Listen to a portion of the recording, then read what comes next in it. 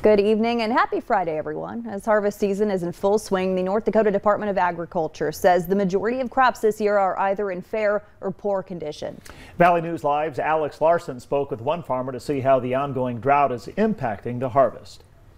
Hillsboro farmer John Birch says he started harvesting soybeans but has not yet started on corn. I have heard of other people in the area that have harvested corn. Um, that one seems to be taking a, a pretty big hit. Uh, that one more uh, wants more moisture in a timely fashion than say a soybean. So uh, they have seen a hit I've heard there um, in regards to yield. You look at like in our area around that 130-ish area, which is which is low.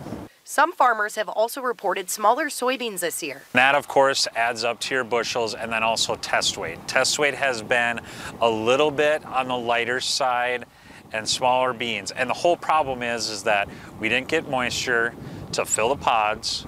And so the beans didn't fill out, and especially the top pods on the plant did not fill out.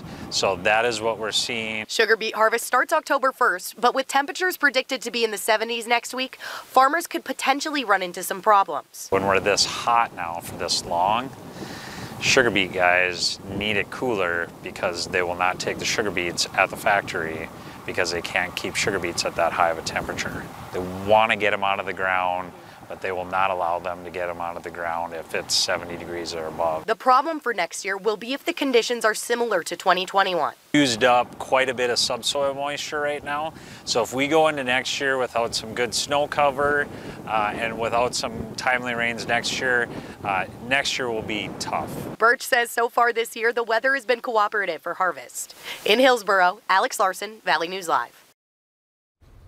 Now, according to the National Drought Database, this, this is the seventh driest year in the last 127 years for North Dakota.